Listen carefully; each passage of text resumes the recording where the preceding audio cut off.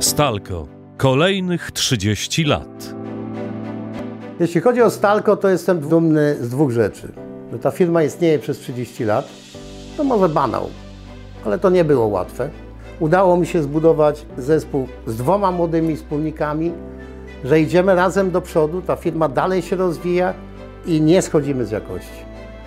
Zapraszając Państwa do współpracy wszystkich, zapewniam no, górnolotne stwierdzenie, to, to prawda, może banalne, może infantylne, ale taki cel sobie wyznaczyliśmy. Chcemy być najlepsi.